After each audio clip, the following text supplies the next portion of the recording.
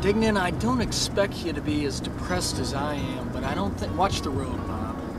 But I don't think that your happiness is quite appropriate. I mean, your 75 year plan does not seem to be working, you know? The only thing I've learned so far is that crime does not pay. Gee, man, that's not the greatest attitude in the world to have. I don't think we get anywhere by complaining, guys. Okay, okay. Yeah, you're right. There we go. There we go.